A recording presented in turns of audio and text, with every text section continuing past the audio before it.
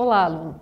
Eu sou a professora Ana Paula e estou representando a professora Juliana, que é formadora da disciplina de Geografia da População.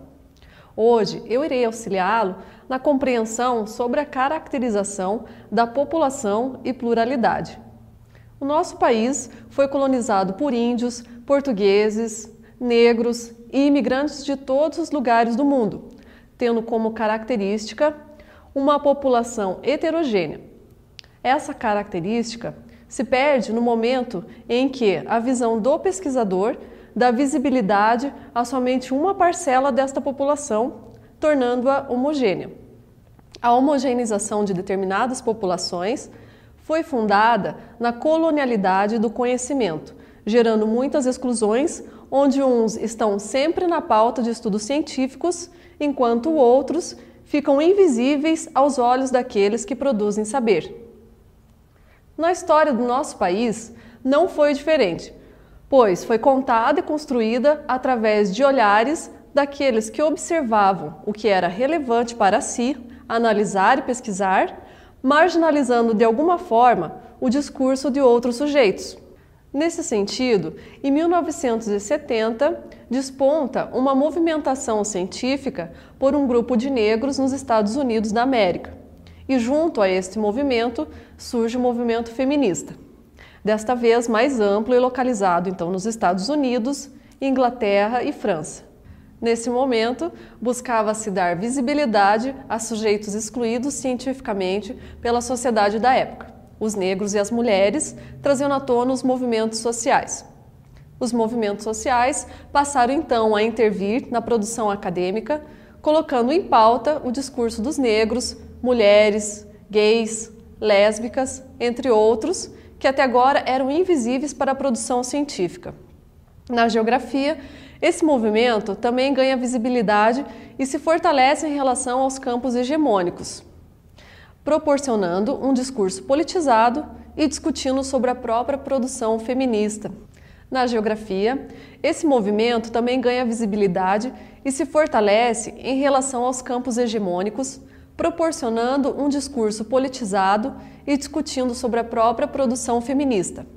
Nesse sentido, a diversidade da população e as espacialidades que as pessoas vivenciam devem ser compreendidas como geográficas.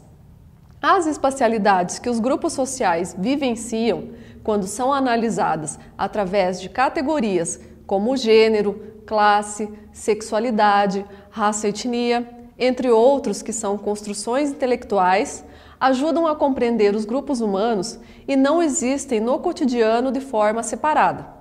Este conceito é chamado de interseccionalidade e é utilizado pela geógrafa Gil Valentini para demonstrar a conexão entre diferentes categorias sociais, tais como gênero, classe, etnia, sexualidade e assim por diante. Ou seja, uma interconexão entre categorias de experiência acontecendo através do espaço, produzindo efeitos espaciais específicos a partir de espacialidades distintas e vividas simultaneamente. Dentro de uma sala de aula, existe esta mesma perspectiva.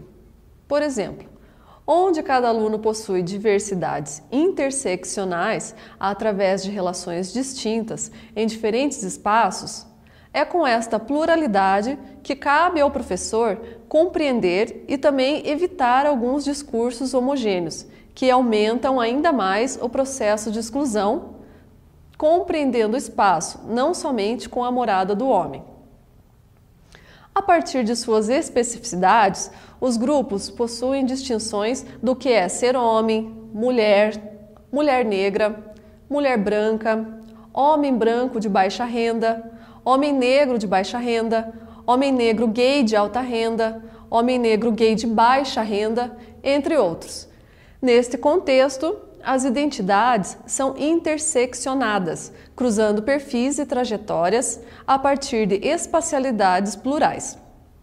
A população, os movimentos populacionais, a cultura, as classes sociais, entre outros elementos, devem então ser abordados a partir de uma pluralidade, levando-se em conta especificidades de cada um e suas distintas espacialidades. Espero que vocês tenham aproveitado esta aula e bons estudos!